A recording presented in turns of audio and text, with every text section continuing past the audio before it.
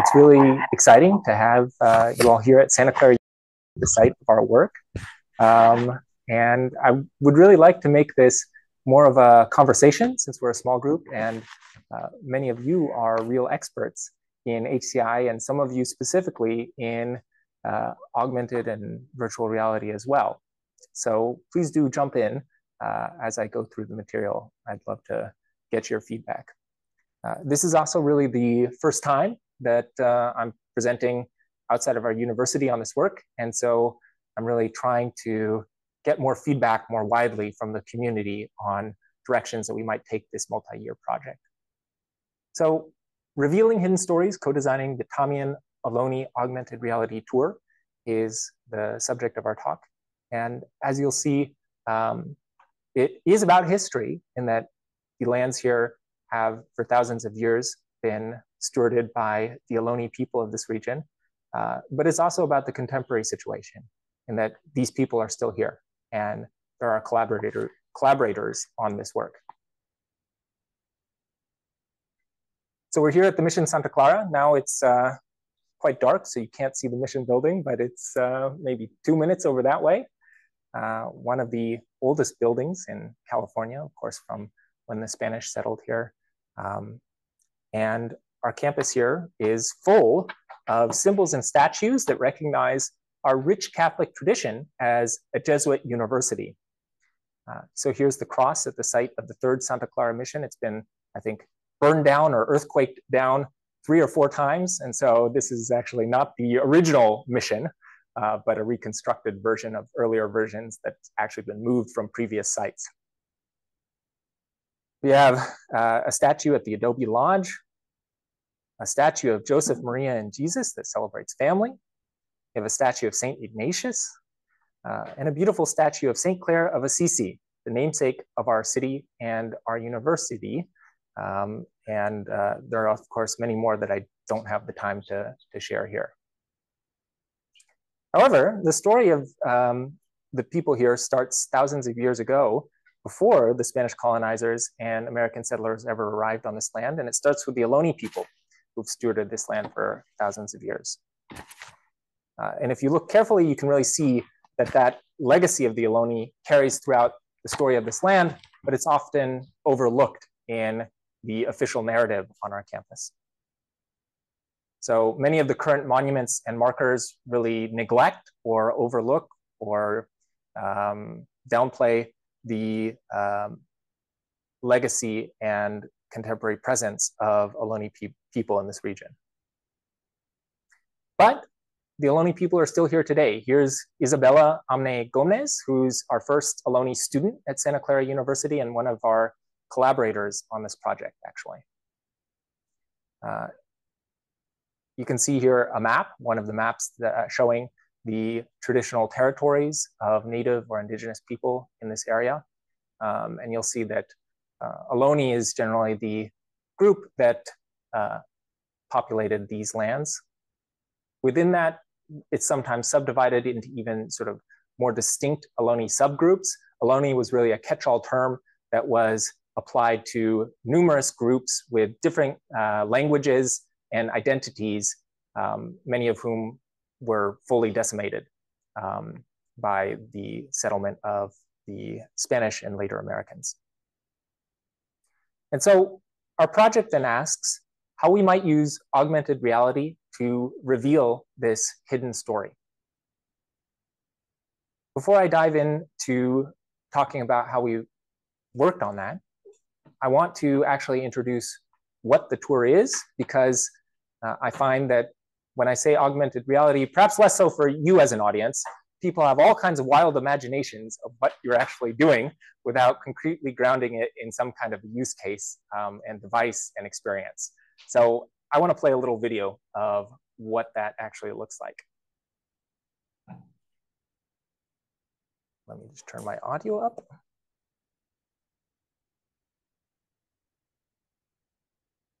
Okay, let's see if this works.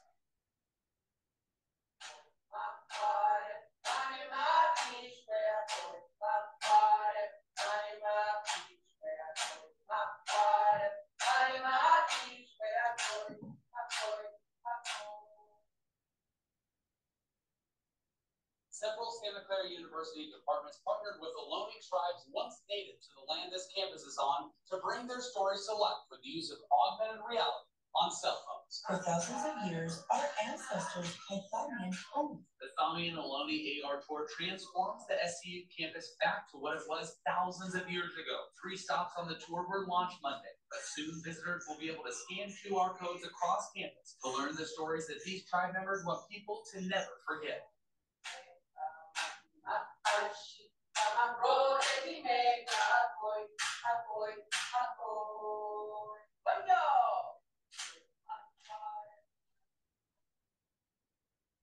Akoi, Hoife, Thámien, Rolwam. Welcome to the center of Thámien Village. For thousands of years, our ancestors called Thámien home. Once an oak woodland with year-round water sources, this village likely had 300 to 500 native inhabitants. Our people were forced to work long hours plowing fields, digging irrigation ditches, slaughtering cattle, and constructing mission buildings, all to keep the mission system running. Some tribal members also held leadership positions as intermediaries between the Native Californians and the Franciscan clergy. In recent years, our tribe collectively renamed the Mission Santa Clara cemeteries in our ancestral Chochenyo language. In order to honor our ancestors buried here, the new name means where the Clareño Indians are buried. The cemetery holds the remains of approximately 2,400 indigenous people out of the total 7,600 native individuals who are listed in the mission's burial records.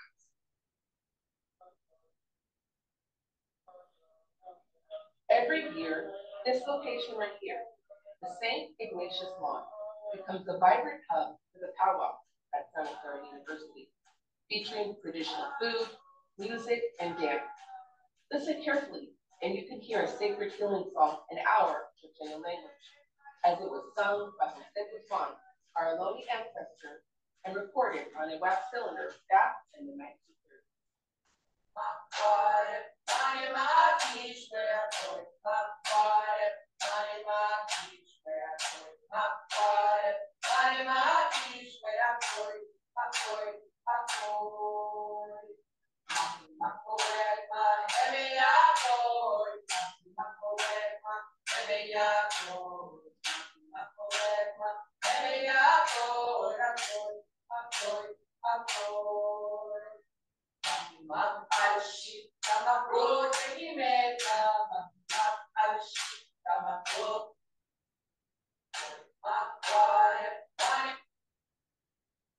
So hopefully that gives you a flavor for what the actual experience is like. It's a mobile AR experience that is location-based and specific to our particular campus here. So far, we've launched four different stops. So each stop is um, uses SLAM to localize to a uh, specific physical anchor in the location and then precisely locate content um, in the surrounding area that has a particular connection to that specific site. And so there's Thámien Village, uh, the Names in the Sky stop, the Mission Cemetery, the powwow, and then in one week, we're actually gonna be launching a new stop, which is all about basket weaving um, in conjunction with Indigenous Peoples Day, which is exciting. So I wanna talk a little bit about why we used augmented reality for this project, some of the co-design methods that we employed, as well as some general lessons for location-based um, augmented reality that have come out of this project. So why augmented reality? Well, um, the uh, one of the, the major reasons is that we can design something that's actually rooted in our physical environment in a way that other formats are not necessarily so. So for background on this project, we had originally started on. Um, just, just as an example of how you might compare it, for yeah. a long time, people like to make kiosks uh, to pl- make in places. So you could go to these kiosks and visit them. Just maybe want to, you know, compare the alternative ways of, of presenting. Uh, you know, people sometimes put plaques on big steel stands and stuff. Yeah. So do you want to kind of compare those different modalities that people use for for this kind of uh, commemoration, just to kind of give, you know, to, to how did you choose this one? Yeah, absolutely. Um, You know, actually, we've also wanted to change some of the physical markers and signage on our campus. It's very controversial because we still have a lot of uh, Jesuit and Catholic legacy.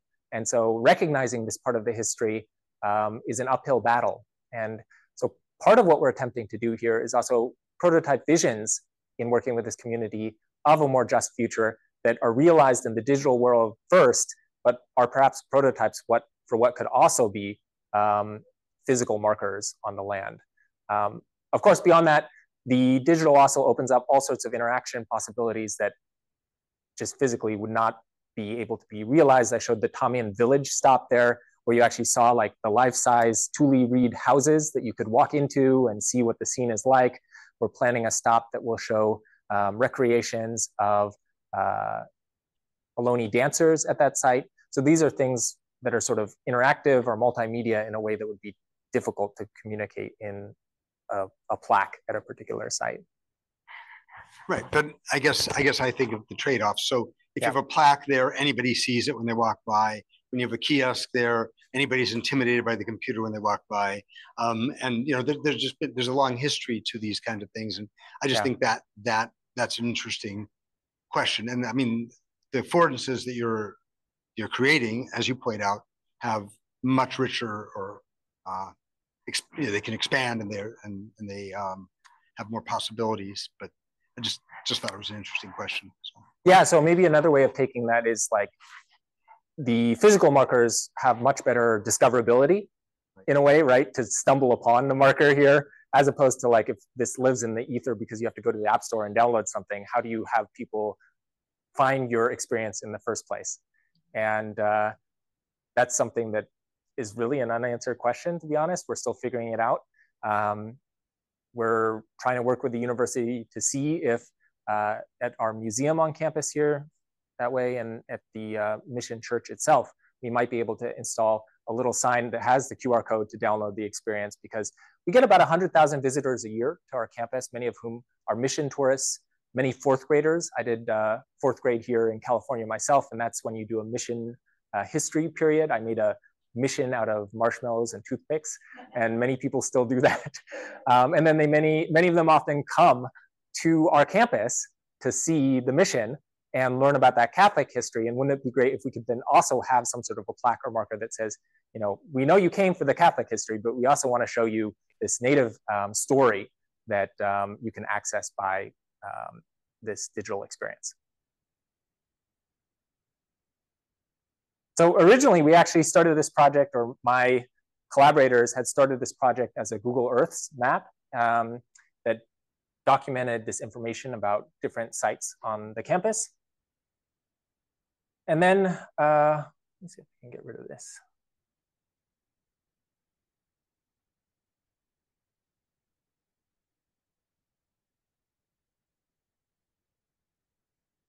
Well, I'll just try and put it here. Um, and then their initial thought was, why don't we create a virtual reality experience? And they were very excited about having, you know, like a eagle, which is one of the um, animals in the Ohlone creation story, come flying you down into the campus and, and such. Um, and I think there's potential for that. But also, when I joined the project two years ago, when I started here as an assistant professor, uh, I also thought that augmented reality is really a unique possibility on our campus because it's a site that attracts many visitors, because it's a site that has this rich cultural heritage. Uh, it's very, you know, walkable. Uh, it's a small university. There's no traffic. Um, so it's really an ideal test site for a lot of these kinds of location-based experiences that can be rooted in the physical environment. So that's what we wanted to explore. Yeah, Christopher. Roger Cop. uh, one thing you can uh, think about is uh, the new generations of headsets, like the uh, Oculus 3, and of course, there's the Apple headset, are both AR and VR. Yep. So now that you have both capabilities on device, you could walk up to a, a hut in AR. Then, if you want to, click a button, and now you see it in VR, so you see the whole scene. You can just uh, go back and forth. So you don't have to make a choice between either one. You can Hmm. support both.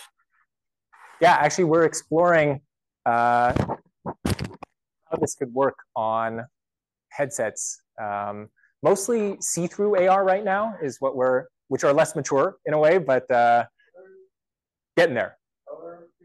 Yeah, pre-fancy, yeah. That's one of the, that's one of the things that I work on. So oh, cool. You can pretty much put on a headset and actually. All right.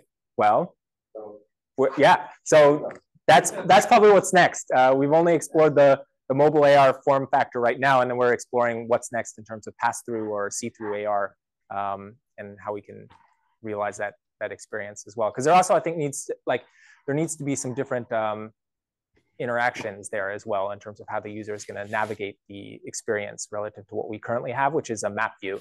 Um, so we're we're starting to think about that. Yeah.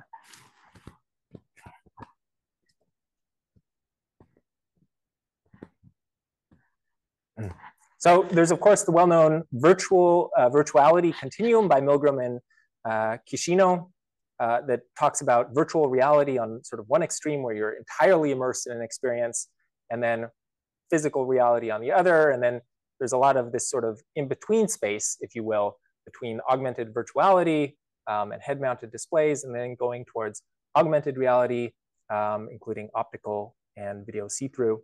Uh, and so we're much more on this sort of uh, side towards reality where we're blending the physical and virtual worlds. Um, another understanding here can be um, reality media, which was put forward by Engberg and Bolter, and talks about media forms that redefine our perspective of lived experience and of the spaces which we physically inhabit. And I think that's really the sense in which we're exploring AR here, is a way of redefining the perspective of the, the site that all of us at Santa Clara University spend time on every day, um, and many members of our community also then visit. Cameron and Fitzpatrick have three levels of spatial attunement in location-based AR, um, starting from overwriting, where the experience is really pervasive around the world and somewhat templated, so you get the same experience no matter where you go. Uh, tethering, which is site-specific and mostly brand-motivated, and routing, which is site and community-specific. And so that's really the, the level at which we're aiming to develop a location-based AR experience. One example of overriding would be Pokemon Go, of course, which is probably the world's most popular augmented reality experience at this point in time. Uh, but really there, the environment is secondary to what's happening in the game. You wanna be able to access Pokemon anywhere you go around the world. Um, and they don't really adapt to, if you're in a graveyard, you're not gonna get graveyard Pokemon, or in water, you're not gonna get sort of water Pokemon. So you could imagine doing things like this, but rather what they're doing is more just finding an open canvas and then trying to fixate, uh, place their uh, virtual assets into any space that you know meets basic criteria. Tethering would be sort of site-specific and brand-motivated, and the example that they give is a guided walking tour of six AR art pieces that started at select Apple stores around the world, which was a collaboration between a New York museum and uh, Apple. Uh, oh, and this should be then uh, routing. And here an example um, of something that's both site specific and engaged with a very particular community would be Kinfolk AR, which is a recent project that aims to work with Black communities to reimagine the monuments in their neighborhoods. Um, so for instance, here in New York City, they came together and imagined um, uh, Toussaint um, Le, I cannot pronounce this name uh, very well. oh, Overture, okay. Um, the leader of a Haitian slave rebellion um, as a digital replacement to a statue of Christopher Columbus there. So another possibility here is to envision a more just future. Um, the work is inspired in part by a project at Stanford University where they did a project to recognize Chanel Miller, a sexual assault survivor, um, and they created this experience uh, to display a plaque here in augmented reality um, that Chanel had wanted on a monument and that Stanford University refused to print um, on that monument. Um, however, soon after the university actually did end up installing a physical plaque at the location that was nearly identical to the AR one. Um, so in a way then the augmented reality served as kind of an advocacy platform to galvanize a community and advocate for what they eventually also wanted um, as a physical change to the campus. And so similarly, our hope is that uh, we would eventually have some kind of physical markers recognizing the Ohlone presence here as well. So you could imagine here at one of the oldest sites on our campus by the original adobe wall of one of the former um, mission churches that we could have, for instance, a statue of Ohlone dancers, which is something that the tribe has discussed. Uh, but at the moment, that's going to be a heavy lift with our university administration. And so we could envision something like that starting in augmented reality as a prototype. In fact, the Ohlone Working Group, which um, issued its recommendations uh, now about four years ago, made a series of recommendations to this effect, a few of which have been implemented, but many of which have not yet. And part of the motivation for our project is then that this is based on the work of scholars and the Ohlone community, and what can we take from this and envision in augmented reality and advocate for as a potential in physical reality eventually as well. Um, of course, there's a motivation to reach more people. So another motivation for this project is the Race and Slavery Walking Tour at the University of Alabama, where Hilary N. Green gives a walking tour of how that campus was built in large part by slave labor, which is not something that you're going to get on the official walking tour of the University of Alabama. Uh, but because she's Hilary N. Green, one woman, she can only offer this tour a few times a year. And so um, by offering it through augmented reality, we also hope that we can scale projects like this one um, and eventually offer guidance to sites beyond our own based on the lessons that we're able to learn from doing this work here. Um, and finally, of course, I think as um, Christopher was suggesting, there's already a lot of technology that could facilitate different form factors, uh, as well as a rapid improvement curve here. Um, and so we're currently building actually with Lightship VPS technology uh, created by Niantic, which they use for Pokemon Go, but we use them for more of a serious storytelling purpose. Um, they have a world mapping service and a visual positioning system that we can use as a platform to locate um, digital assets in the, in the environment. Um, if we want to go way back, we can think about very early sort of augmented reality systems like the Mars backpack system for location-based AR. Um, fortunately, you no longer need to carry around a backpack to do augmented reality. We have a lot more uh, accessible form factors, although there's still ways to go. Of course, there's the Microsoft HoloLens, um, and then most recently also Meta Orion uh, on the see-through side.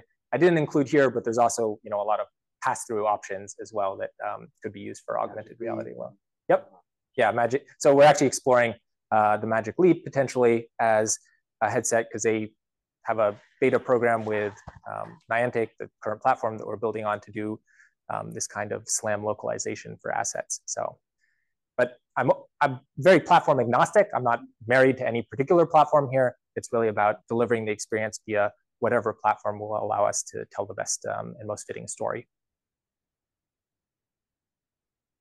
Uh, and I think in the future, we will really have mass market augmented reality headsets.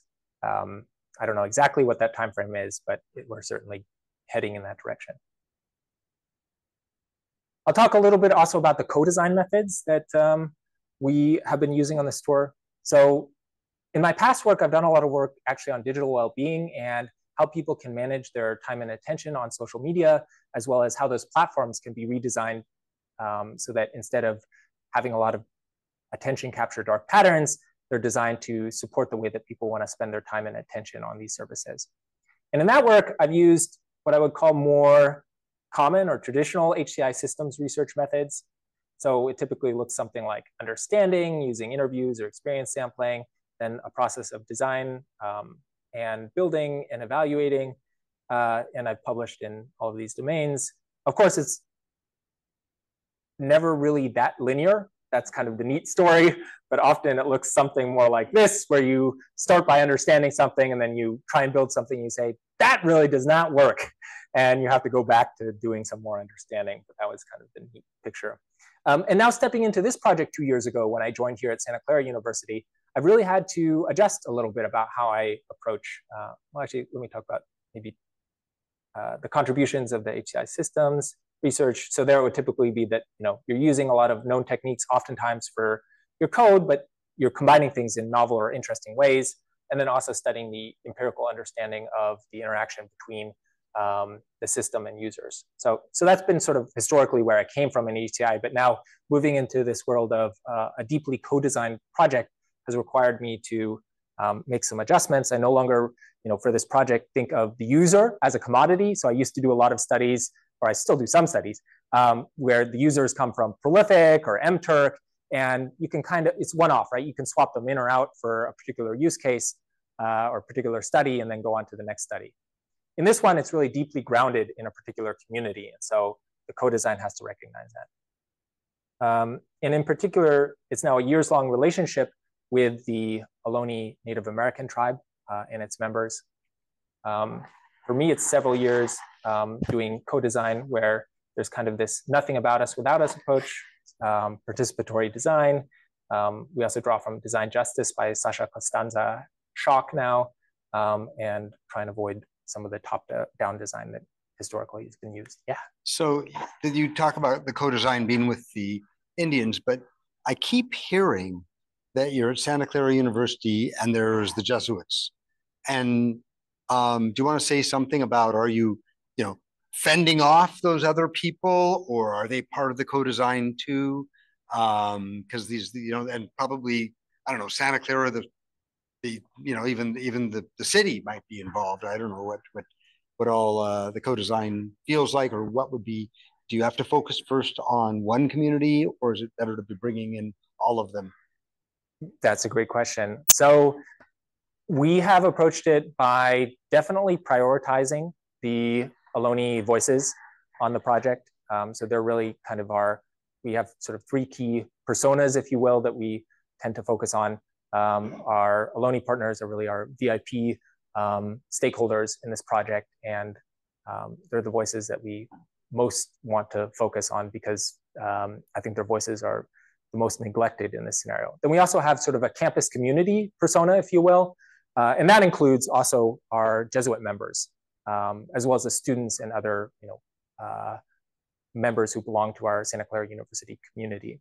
Um, and then finally, we also have uh, mission tourists because we get a lot of mission tourists coming to Santa Clara, about, yeah, about 100,000 a year. Um, and so we also then want to make sure that the experience is approachable to that audience in a way that uh, doesn't immediately um, get them to sort of tune out, if you will, um, but rather can engage them um, productively in a conversation about some of also the dark or troubling history that they might not be aware of or be expecting when they come to the uh, Mission Church site here. Yeah, Gwen. Just uh, just a, a little bit of a question into that similar topic. Um, I can imagine, as for example, the um, H Green example. Yeah. Uh, there are constituencies involved, stakeholders involved, where some folks might have a particular bent on that history and others have a different one and there's conflicting constraints if you will um, is that the sort of thing that you're looking at when you're when you point out that um, the Jesuits and some of the um, administration here versus some of the other voices? Like, is that the sort of like whose story gets told? Is that part of the question? Is That's that definitely part of the question. Yes, uh, it's definitely a contested story, right? Mm-hmm. And I think our perspective um, as a co-design team is that the um, Catholic tradition is very richly represented on our university campus, and the Native history and story is largely neglected on our campus. So we're not, I would say, viewpoint agnostic or neutral, if you will. Which I mean, in the first place, I think that's kind of a myth as to you know how you would go about designing technology in the first place. But yeah, we definitely have a perspective here that um, uh, is grounded also more so in the work of my colleagues, um, who I'll introduce in a minute, who are in anthropology and English, who have collaborated with the tribe for, uh, in Lee's case, several decades now. Um, and then there's a lot to navigate there in terms of how these stories get told and represented and who's doing the storytelling. Um, but we've, yeah, consciously chosen in this case to foreground um, the Ohlone voices here in the story that we're telling.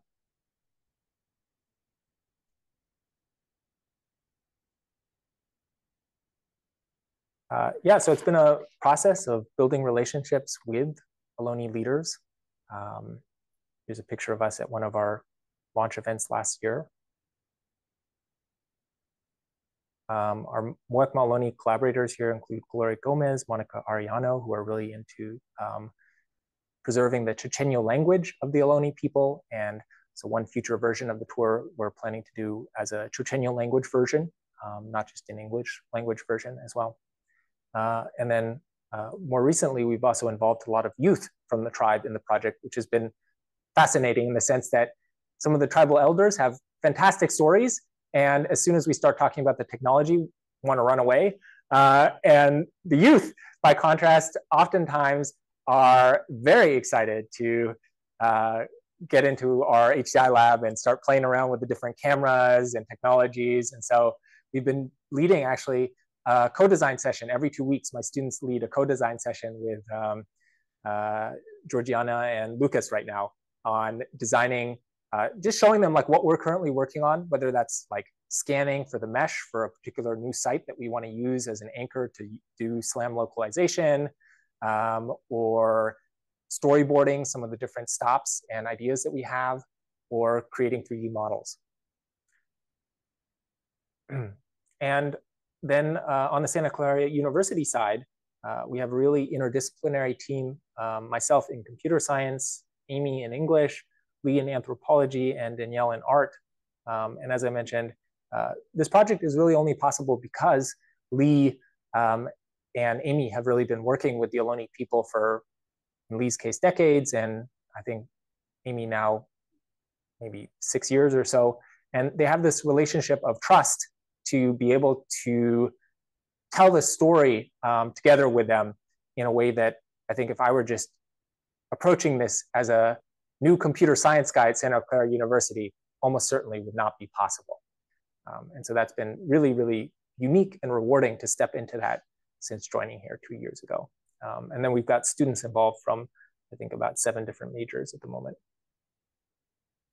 So a few of the lessons that we've learned in augmented reality, one is to be upfront about some of our limitations, both like what are the limitations in the field, and then what are our limitations as a team, you know, where students are doing most of the work uh, on the day-to-day -day basis of actually developing out this experience. Uh, so initially we had for that village stop, for instance, an image that we would have a river flowing through and we would have um, lots of 3D models moving around and a coyote and children um, and we just found that uh, that was more modeling and uh, more than the technical experience that we were using at the time was able to support. So at the time we were doing web AR and running things in the browser turned out to be not that stable. Um, we've since shifted to Unity, and so I think it actually opens up a lot of these possibilities in a native app where we can store um, more assets on the device itself. Um, and so we're now just starting to explore some of this again. But um, at the time when we got started two years ago, that was sort of beyond our capabilities. And we had to realize that like, we wanna have bold visions for what's possible, but at the same time, this isn't purely a research project in the sense that we also have a promise to our community partners here that we're gonna deliver something that they can show to their community. And when they you know, come to campus in a week, that we'll have their actual stop that they envisioned um, in some, uh, actually working in some meaningful way. So, you, hello. yeah. Yeah, you asked for questions. I'm gonna, I'm gonna uh, first say that I'm Ted, and when people speak, please remind us of who you are. Um, also, I want to say that there's a lot more people online than there are in the room, just so you know. How wonderful. Um, yeah. Yeah. Um, uh, this this question of meaningful. Um, I want to know what you know, you've been thinking about evaluation metrics, I'm sure, all the way through. You started off in the CHI community, you know all about evaluation. Tell us about evaluation in, in, in a situation where you're delivering it to people that think that, you know, that that have various purposes uh, of outreach and, and promotion, and you're sitting there trying to find out if this thing is actually effective. How do you figure out if it's effective? Yeah. So to be honest, we're only starting on that right now in terms of evaluation of the end user experience. And I think the way that we're thinking about it is in terms of those uh, different personas or constituencies that um, we've been working with. So one of those is the tribe. Like, is this like accurately telling the story that they'd want to share with the world? And um, I think there um, that's often derived through our co-design process. So we have regular co-design meetings with them and then um, have them come to campus and actually uh, do observations when they go through the experience to evaluate their their um, reactions. I'm not going to harp on this, but I guess I'm just going to you know think you know I I tend to be quantitative. Yep. And so I want to find out did people come away learning more about them, uh, feeling differently about the tribe, uh, people yep. that had no experience before. I guess that you know I, I'm I'm I'm hunting for that kind of uh, data. Yeah, so that's the direction we're going with the um, fourth graders who come to campus, which is a more scalable way of delivering our tour. We're currently in talks with uh, the museum on campus because they give like often dozens of tours a week to fourth grade classes coming here. Um, and we're currently thinking about issuing a series of iPads to them, and then the students can go out and have it preloaded on an iPad. And uh, we could have sort of a before and after survey. We're working with our educational Office of Educational Assessment to develop an instrument that would measure some sense of uh, what were their impressions of the Ohlone people before um, they went through this experience and then subsequently. So that would be sort of the lowest hanging fruit that we're targeting. And, right and I, I, would like to hope that there would be a baseline that's the best of breed alternative. So you could test whether it was this, what was the aspect that made it work? Yeah, it's interesting. What what would you suggest as a potential baseline? Like one thing would be to give them nothing, or to do the traditional tour without the AR experience. You know, those are you possibilities. That put all the same assets on a on a on a three ring binder that they can flip through and walk around. Everybody has a three ring binder they're walking around with. Yeah, you know, that's an example. I don't know if that's the best breed. Yeah, you know, one has to think it through. Yeah, Edwin, I think has a has a. Hey, yes, this is Edwin. Um, just a thing from a an experience as a traveler, less as an HCI professional. Absolutely. Um, but in traveling different uh, cities, I've had the, you know, I've used an app that was GPS aware and had landmarks built in and recorded like audio information that would be that could be done you could run through it as an organized walking tour following a path that it provided you mm-hmm but it was also capable of like just noting wherever you are and just saying, hey, on your right, there's this, and on your left, there's this thing that you might want to hear about. Um, I feel like that's that was super fun for me as a as a traveler. Yeah. Um, and I feel like there could definitely be some like overlap with what the, what you're working on here. Yeah. Yeah, I love like the audio guides at museums or different historical sites. Um, so could, that could be another possibility, right, to compare it to a pure audio guide or something that's in just that form factor as well. Yep.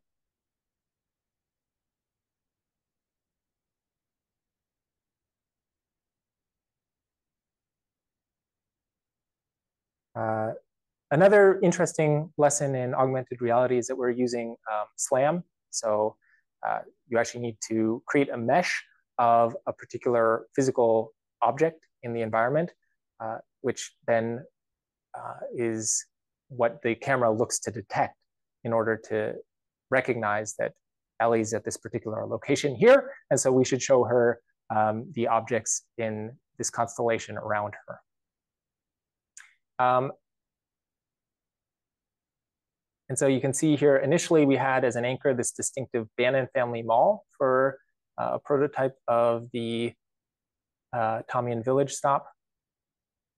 And it was an interesting case where the uh, feedback that we got from that was um, that that particular thing, although it was a technical, technically appealing anchor in that it was visually distinctive and was able to locate the uh, geolocate, geolocate the assets accurately, um, was problematic in terms of the message that it conveyed, and that we didn't want to have the Ohlone village brought to you by the Bannan family as grateful as we are to the Bannan family for their donations to Santa Clara University. And so then really thinking through what was conveyed by the particular objects in the physical environment that we use to anchor the augmented reality experiences on was something that we started to think through more as we proceeded.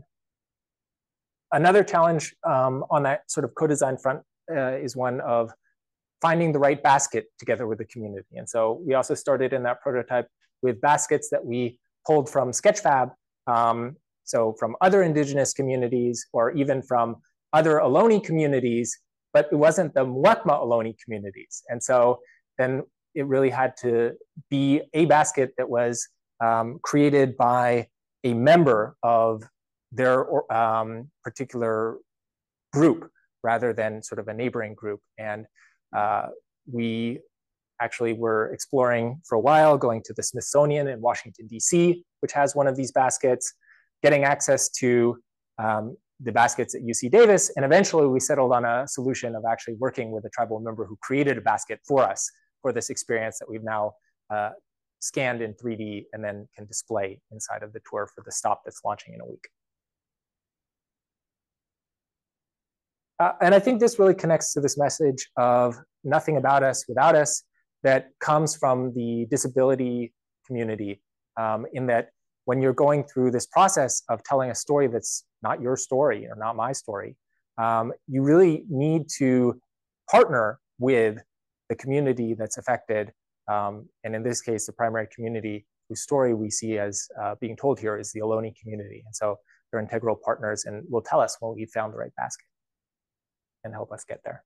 So, uh, you know, sometimes in tech we have this ethos of move fast and break things, and uh, this is decidedly not one of those projects. Um, perhaps if you're designing a, a casual game, um, that's okay, but um, there are some other projects like this one where that's not the right ethos. And so every asset that we put into the AR tour is very deliberate in the sense that um, the background music is something that we um, recorded together with the tribe. We did a we booked a recording studio and had them all come and sing their traditional songs. Um, and what was wonderful about that is not only is it an asset that we can use in the augmented reality tour, but it's also an asset that they own and um, can use in their own community. And so when they appeared at a San Jose Earthquakes game, they played that over the loudspeakers there and have been able to, you know, record that for posterity as well. Yeah. MS, who I'm not sure who that is, is asking great, interesting questions. Uh, what is your thinking, perhaps, justifications for personas as one of the building blocks in the guiding tool of design? Yeah, I think for us to clarify which audiences we're designing for, and then also recognize that it's not just reach as many users as possible, but there's actually a prioritization here as well, right? In that the Ohlone stakeholders here, uh, their voices count times 100 or times 1,000 in that if the story isn't accurate to what they want to share, then we're not getting it right. So the follow-up question was, or statement was, uh, you know, the quantities are only meaningful to those people uh, that is being designed for. And you, you, you made that point in many, many ways here, but that was just uh, the same person had commented on that. And finally, um, uh, you know, is academic mastery a stated goal of the community uh, put at the center? That's a question. Yeah, so that's an interesting question because beyond co-design, are there particular types of co-design like participatory action research that really involve members of the community in not just sort of the design of an artifact or experience, but in determining which research questions get asked in the first place. And Monica and Gloria, two of the uh, collaborators of ours on this project, have actually co-published a lot of anthropological writings or publications with Lee uh, and Amy. I think for them, and I think that's actually Monica's background as well. And so she's very interested and knowledgeable in that field. I think for them, HCI is more of a new field. And so, so far, I think I'd love to get them more involved in setting out what some of our research questions are, particularly on the co-design side, like what co-design methods work for them as a community. Um, but the, the place where I think that's actually been the most fruitful so far has been with the youth, actually, to really see how, how they engage with the experience and what questions they have about how this technology can and cannot represent the stories in their community. And there was a, a request to, to unmute and ask a question. I'm not sure if that's going to happen. Let's see. And Matt, are you going to ask a question? Great. Hi, thanks. Just had to tap the right thing. Maybe not. Um, if I know we. Well, if it comes through in the chat, uh, happy to respond. He, I know we have he is time. in on the Zoom, but Oh, I don't, Can if we're not hearing it in the room, that's a Oh, different thing. There. I typed There a question in the chat. Yes, okay, please, we now can hear you. Okay, hi. Hi, everybody. This is terrific. Thank you. Um, my work is in product design, digital design on the experience side and research. And um, I know we have only limited time for each question. I'd like to hear a little bit more, uh, Kai, in response to my question. What's your thinking for using personas as part of your design pro- or process? And what would be the alternative, maybe? Not using them and using actual people uh, as Let's listen to Kai's. Response. Yeah. Oh, excuse me. Yeah, I think we, I see personas here as a communication tool for our team in that we have four different faculty from different disciplines. We've got 12 students from seven different departments and uh, then of course our Ohlone collaborators and setting out those personas achieves some alignment for us in terms of it's a currency that everyone can easily understand and latch onto across these different disciplines and allows us to then say, who are we building this story for and who are we prioritizing and who are we not prioritizing in the way that we tell these stories? Alternatives um, could be like mindset personas. So rather than basing them on sort of demographics, you can think about like uh, more, perhaps there's people who are newcomers to AR. And so you could classify people according to on different dimensions. In our case, we did choose kind of these three buckets of uh, Ohlone tribal members um, and what they want to get out of the AR tour, um, campus community members, particularly students, and then um, who, who have expressed an interest in Ohlone history but limited knowledge of it.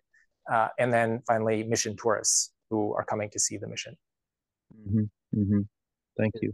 Okay, yeah, thanks for, thanks for chiming in. Appreciate it. Uh, and so then we've also been thinking about, in collaboration with these communities, what are some of the co-design methods that we can use to envision what the AR tour can look like and how it might be developed in the future. Uh, and so one of the things that we've been exploring has been what we're calling landmark-based affinity diagramming. So affinity diagramming being a very common um, technique in uh, HCI or interaction design, where you will have post-its for all of the different sort of findings or possibilities for a particular product or service. And then you want to put them up on a big wall or big board and cluster them.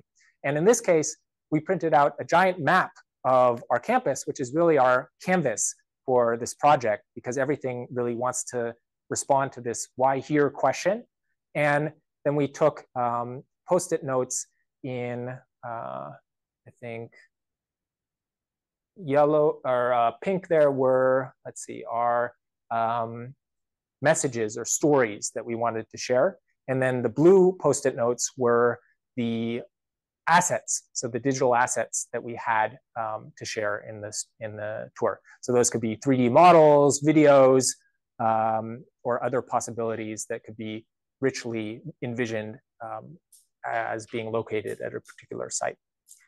So this was our process of then um, using some of these models in or, or, envisioning where these models should go. And so many of these 3D models um, also come from objects that have been found um, or excavated here on the campus.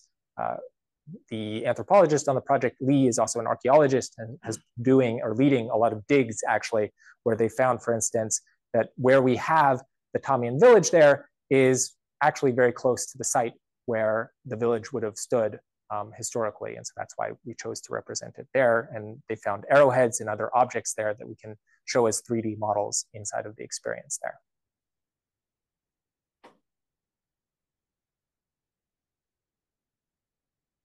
So a few, I'll conclude with a few open questions that we have um, as we go forward with this work and would love to get your feedback on. Uh, one is like, how do we approach co-design with tribal youth? Um, I think that's been an interesting and at times sort of challenging uh, thing to do, particularly as we're doing it remotely um, with these youth and um, figuring out how to engage them in these different projects at an appropriate level has been interesting. Uh, and then secondly, how might we create a AR toolkit that empowers educators and storytellers to create social justice tours at different sites or different cultural heritage sites um, in our area or around the world? So what resources do others need or what might be learned from our experience that others can then um, draw upon to create similar experiences? And then finally, you know, what are new interactions that we might explore that are rooted in the physical environment? And so we're just, right now, it's been mostly overlaying content on top of what you're actually seeing um, through the camera view. And we're just, with our new stop, starting to explore a little bit about you know, being able to then tap on that content and manipulate that content um, through the affordances of mobile AR. And going forward, then we're interested in how that can play out when we move to other form factors like AR headsets, um, which would require a different type of modal, multimodal interaction, um, likely gesture and voice. Um, well, um, those are great questions, um, Ted Selker. I, I, you know, I'm sure that other people have a lot to say and ask, and please keep the questions coming online. Um, but um, I, you know, um, some people talk about mixed reality being when you can't tell the relationship between uh, what isn't there and what is there. The kind of you know Holo HoloLens mm-hmm. and Magic Leap and and and also the new uh, Quest yeah. things that deal with that. And augmented reality, when you have some symbolic uh, information that's overlaid over the world, it might be text. Um, and I kind of put your imagery in that camp, and then there's virtual reality where you don't have anything from the outside world. Yeah. So that that's that's a taxonomy that I'm I'm familiar with. But mm-hmm. um, I'm wondering what you want to say about you've got this uh, this imagery that's obviously um, computer generated, mm-hmm. and you could imagine obliterating the campus and it looking like a field and hearing the chirp, the sounds, of the great bear, the great uh, California bear that used to be around here and everything else. Mm. Um, and I almost wonder, is it, what do you think about the, is there some value to having that sound stage that is obviously an indoor sound stage where music's being made? Mm-hmm. Um, and is there value to having these kind of uh, VR, you know, handmade graphical things? And how does that compare with trying to inundate, you know, to immerse a person in, you know, 18, uh, 1700 uh, uh, experience here. I think that was also a little bit what Christopher was getting at, and that you could have not just the like small subset of objects that we're currently displaying in the environment, but you could create the entire environment and sort of toggle on and off like how richly immersed you are in that whole digital environment versus just you know having sort of augmented overlays on specific parts of it. Um, I think it's an interesting proposition. I would love to explore it actually and see what it would be like uh, to also, are we doing this like physically in the location or is this now like a VR thing where you can do it from your living room? Um, and uh, yeah, I, I would imagine if it's in like a sort of um, phone format right now, it's hard to totally immerse the user in our current format because you always have the wider view of like what's actually going on, right? But maybe you're like revealing things as you're looking around. So there's a lot of value in the way in not completely immersing. Mm-hmm. Although I push against it and want the whole thing. but what's good about it is you're oriented. Mm-hmm. You know, you're not going to bump into people. You're not going to, you're going to be with your friend out here at Santa Clara yeah. campus. You're going to be with your, your, your teachers over there. The bus is behind you. That's right. Um, and so I, you know, that's why I kind of asked the question. I see. Yeah. But I, don't, I, I want to make sure other people get to ask questions. I'll probably have. Yeah, I, I, think it certainly wouldn't work if you're trying to wear like a uh, head-mounted display and then completely immersed in yeah walking walking around in the environment here because there's too many bikes and other things going on at the same time so you'd have to navigate that i mean that that's a big difference between the apple one and the um and the magic leap absolutely uh yep. the magic leap it cannot uh, cover up brightness right yep. it's out there in the world where the apple one you can you know it is manufactured inside and so can pretend yep. that it can you even emerge uh, even if it's see-through yeah, introduce yourself um, yeah, so I think I really like the question number mm-hmm. one. Uh, my name is Sanika. uh, so I was thinking about this as you were showing your designs. Uh, am I speaking in the mic? Um, this actually is like a really good starting point to now as you're uh, exploring having interactions with the with the display with with uh, your experience uh, with everything that the user sees that now they can leave a feedback or maybe leave a note and it could now become a social interaction kind of thing because mm. i think the the key value uh, proposition in this whole use this project is the target audience it's very very um, focused. It's not general it's not for everyone. So if i'm interested in certain area certain topic i can then connect with others who are maybe interested in that or maybe it would be ni- like a nice touch point for more social getting more socially uh, uh, yeah involved in in that in that area. So that was my thinking. So tribal youth uh, i think today's youth is so fast so in their phones they want a social interaction but they want it through technology. So this, this would also open gates for that. So i was thinking about these things. Yeah, thank you. Uh, at dinner, Ellie and I were actually talking about a project that uh, she had worked on at Northwestern, where similarly there was like a, tell me if I'm getting this right, but a campus tour, and they were also exploring this concept of like being able to leave messages, like a visitor book, if you will, um, and then being able to see messages that others have left behind after going through the experience. Um, and I think there's something there figuring out exactly what the right interaction is is tricky. Like we were talking about how it's compelling to probably leave a message. Do I want to like listen to all of them or like which ones do we highlight or show? Another intriguing possibility is actually that the um, tribe has some stories that they don't want to share. We're gonna get. It's gonna get. I guess they're locking we, us we now in here. have the, the curtains are closing in this room. So the tribe has some stories that they don't actually want to share publicly. And so we could imagine actually having some sort of special code or login for just tribal members where they're able to communicate some of these stories at different sites, um, which would be a really interesting affordance that we could make possible inside of the app. Yeah. Oh, do you want to munch, talk about that a little bit or not? I typed a question in the chat. Um, this is uh, Ellie Burgess. Um, and yeah, so back when I was an undergrad, we were extremely excited to use Google Glass. It was the hottest thing. and um, uh, we were thinking about all sorts of exciting things like what if we did like a Chicago gangster tour and could like overlay old like newspaper clippings on Chicago? And then we're like okay but honestly for a class what what's what can we actually do? And so we called it spectacle um just felt like the glasses.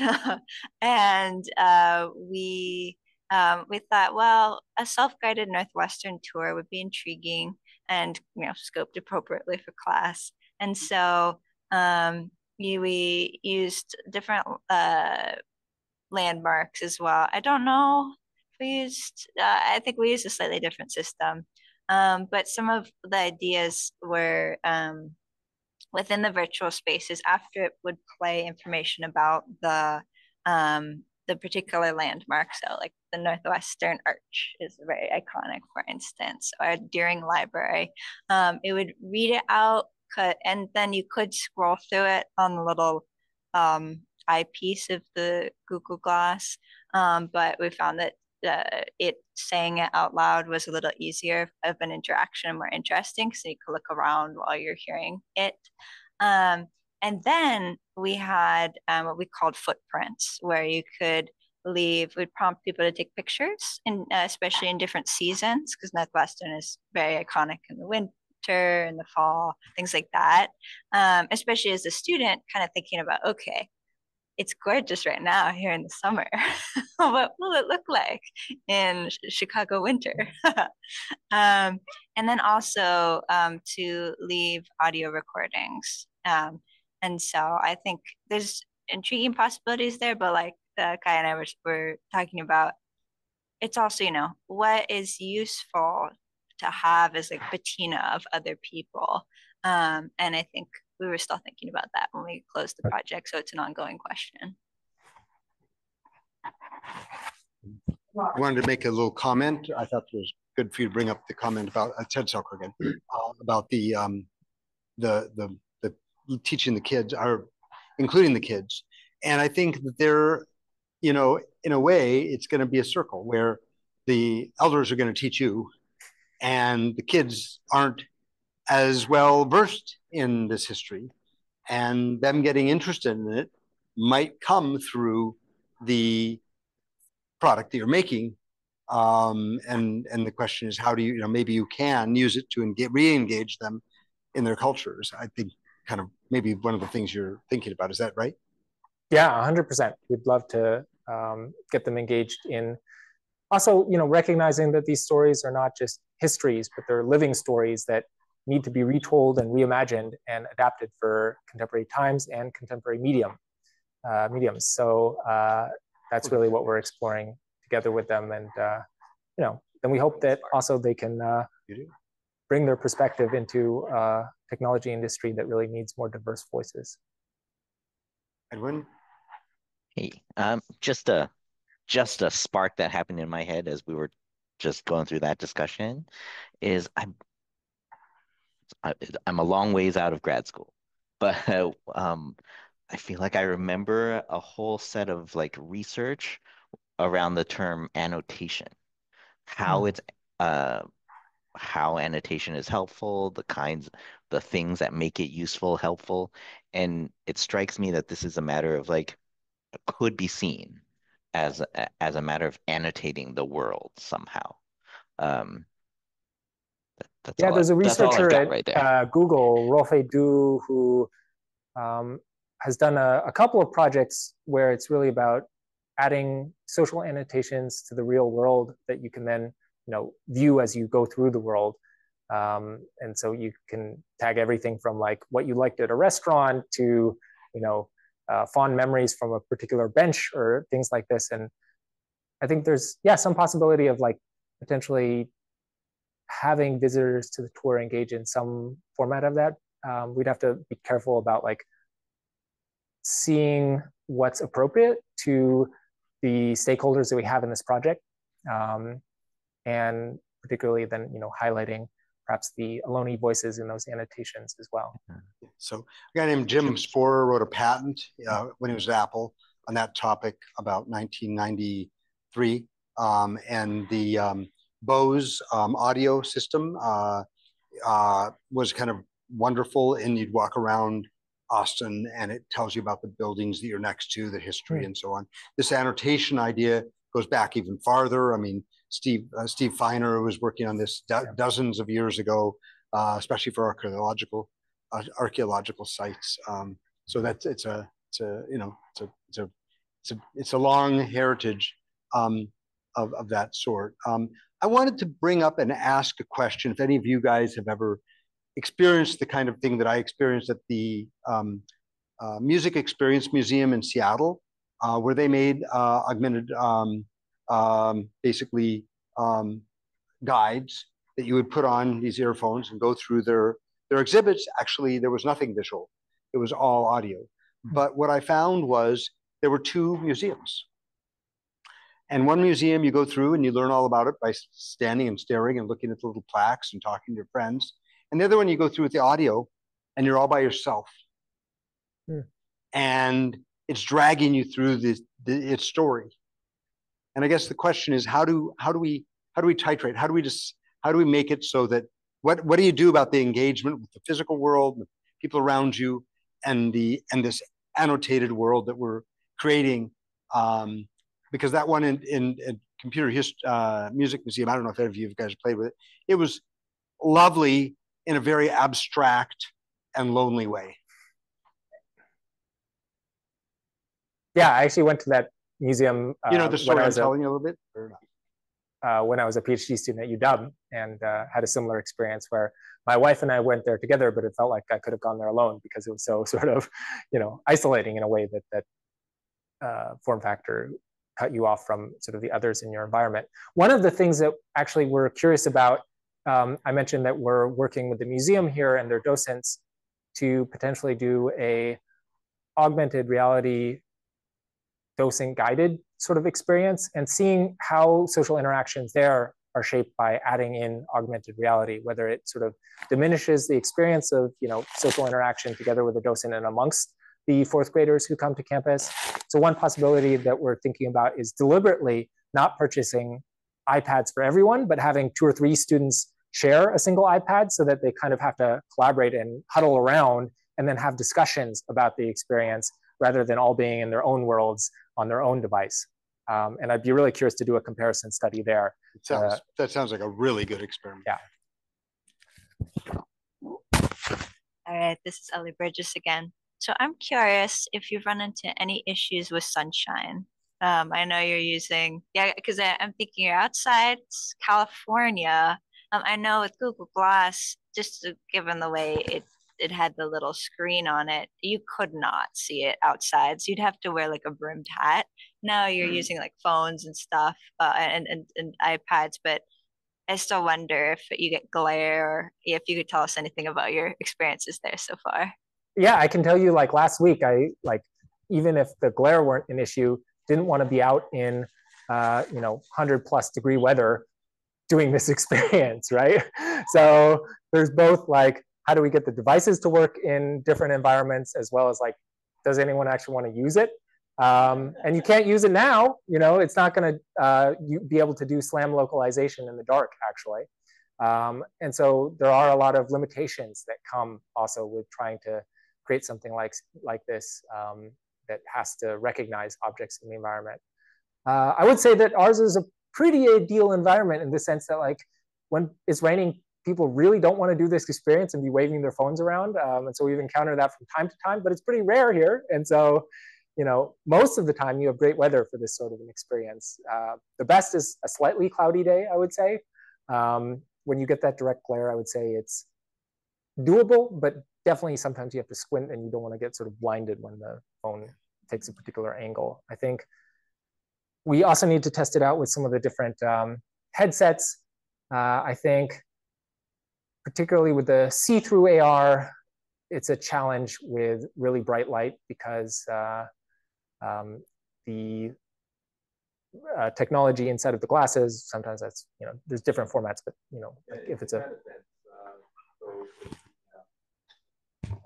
This is Chris Perry. So yeah. uh, with the uh, Apple device, the Pro device, it uh, its ISO adjusts based on brightness. Yeah. So it'll handle it. And then there's low light uh, compensation systems. I think the Quest will have it on the next one. Uh, Apple, I think, has it, and other devices that'll have see-through. They will all have uh, more advanced camera and shading algorithms to kind mm-hmm. of handle that to a point. Obviously, you stare at the sun. Okay, that was probably a really bad idea. Um, in any case. In any case. but uh, yeah, see-through is becoming more and more capable.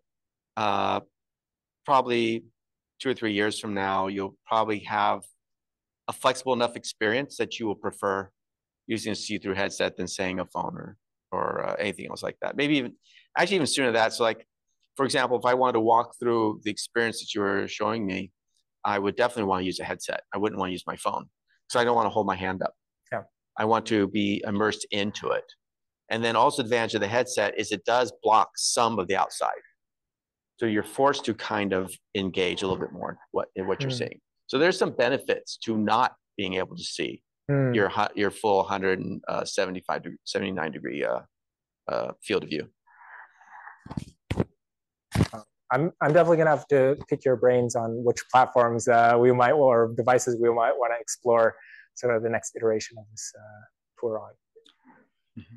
Um, there was a question that's been brewing for the last hour, but I didn't want to bring it up until late in the game, which is, you know, an embarrassing question for us that aren't business people. Um, that is, uh, does what? Where's the revenue? Uh, who asked that? Michael, somebody. Uh, Where's yeah, the so there's the revenue in, in VR? Yes, where's the revenue in VR? in VR, yeah. And I and I answered some stuff online, but just you know, we don't have to spend all evening on it. But if you have some thought, it's fine. Yeah, I mean, so to be clear, this project has zero revenue, a lot of negative revenue, in fact, that I'm trying to support through uh, applying to NSF and NEH grants together with my partners. Um, so that's an ongoing challenge. I will say that I mentioned that there's some opposition to the university to what we're going to what we're doing, but also other parts of the university have been very supportive. So um, we've received two internal grants um, on the order of about 30K each to get this started um, from a specific scholarship for interdisciplinary scholarship. Uh, and that's been just wonderful because it's supported the work of you know, my colleagues across different disciplines and students across dis different disciplines. Uh, if I were to speculate on like where revenue could be made uh, through AR and VR gaming would be my first place that I would look. And so certainly you think about the world's most popular AR experience like Pokemon Go, I think that's pretty well monetized. I haven't seen anything else that's really comparable. I know there are agencies that are doing some kind of branding work. And so we've actually looked at that as one source of inspiration for possible interaction possibilities that we can support in our tour. Um, most of those I would say are like one-off campaigns, you know, displaying, I don't know, the uh, Coke can on top of um, the Empire State Building or something like this. Um, and it has some like surprise value or um, novelty to get people to experience new things. Um, but I think that like long-term sustainable revenue source is something that the industry hasn't hasn't found yet. So you just brought up games. And so I have to bring up how do you expect people, will they get the whole story? How do they get the whole story? Why do they get the whole story? What motivates them to stay in it? You're talking about these kids. How are you going to interact with them? So why isn't this a game? Why aren't you thinking about the goals uh, and, and incentives and the structure of how you bring people through this curriculum? Or do, are you? Or does it matter? Not enough, I would say. So we've started thinking about it. Right now, you know, we've been focused on what are the stories that tr- the tribal elders have to share, but definitely increasing engagement um, is something that we're starting to think about and should think about more. Um, my instinct would be that there's kind of a careful line that we have to walk between trivializing the experience, if you will, um, and having the appropriate levers for engagement, um, which is something that the you know serious storytelling or serious games community has worked on. Um, and so we're trying to learn from that. I have a colleague over uh, at uh, Midjourney who does actually former colleague at Midjourney who does a lot of that kind of work, and we're trying to pick his brains on you know how we might add some sort of perhaps a collection element where you can collect different artifacts at different stops along the tour and deposit those into some sort of a uh, gallery or something that you have as you go through the tour. That's one possibility that we've started to explore. But I'm very open to other ideas Um, here that others one, have. one more question uh, that came over was, um, what is the value of um, high of high resolution and photorealism? I, I, we kind of touched on that before. Um, so is it great to be perfect? You know, is it, should it be absolutely perfect or should it be separated from from the physical world and obviously made as a as a as a cartoon caricature or annotation of uh, that Hmm. tells the story but isn't isn't the uh, hut itself Right. I mean, I think there are trade-offs. So the um, realism can be effective for um, like doing historical recreations and having people see what the environment would have really looked like uh, at a particular point in time. And so that's what we were going for for the village stop in particular. But then we've also been imagining um, stops that have different objectives. So for instance, for a stop that tells the story of Ohlone cultural dance traditions, I think there, the realism, at least that I've seen so far um, through motion capture, ends up in this kind of uncanny valley of like, yeah, these are like kind of real-ish, but kind of awkward as well, not totally believable in the way at least um, people have been able to create these models so far. And so um, there, my inclination would actually be to go with something that is more abstract in terms of just like a form of the dances and having some particle effects um, where it's clear that we're not trying to do a photorealistic image of the dancers, but rather convey their motion and form in a way that's compelling. Um, so let's see. Our, um, I think we've kind of uh, gone through everybody's questions. Um, ah, Edwin had one more. Sparked by the one that you, this is Edwin, sorry. Uh, sparked by the one just before your last one. Um, I think for me, this this brings me to a question of like, what does success in in terms of their stories? What does that mean for the the Ohlone voices? Is it more people hearing their stories? Is it more people learning their language? Um, I guess that's a so, success look like. Yeah, what Absolutely. does success look like for them? Yeah. So I think there's both like what is the message they want to communicate and how and who can we reach um, you know which audiences can we reach with that message um, and so i think it was interesting. When we started out the project our inclination had been to really lean into the history the untold dark history of the site. And then when we started collaborating with them they really wanted to include that but prioritize or emphasize the we are still here message. That is not just that we are historical peoples but also that we are still here in this community as students at this university um, and still practicing our dance traditions at the powwow here every year. Uh, and so on the messaging side, we really worked to figure out what was the right stories to communicate in the first place. And then in terms of reach, uh, they're fighting for um, recognition. They're not a federally recognized um, tribe. And so then I think building community recognition, recognition with uh, official stakeholders or lobbying the um, San Jose City Council to give them uh, some recognition. So they're very excited when we can also use this medium as a vehicle to bring like news media to campus to cover the tour like you saw in that clip. Um, and uh, then you know educate future generations of fourth graders about this part of history so that they grow up knowing that this is this is a part of it. Um, yeah. So what I heard you say, and I, I was thinking it too, was that what people want is to feel understood and to feel good about themselves and and you know here here you're giving them a platform to say you have a history and they can they can uh, you know enjoy that uh, that they have a history and they have a, a presence and a rea- you know and a and a, and a righteous uh, belonging. 100% i would say yeah and it's not just the outcome of the project it's also the process. So um, as part of this we are also using some of our funds and grant funds to support traditional cultural activities. So every year we do a youth camp on campus that brings together the youth from the tribe from across California to campus here to engage in uh, this, this year it was basket weaving. Um, the previous year it was making shell necklaces. Um, and the elders are there telling them stories of the, the tribe uh, and so supporting, and you know, we did the recording of the songs, and so supporting those activities, and then creating a Chochenyo language version requires them to practice their Chochenyo.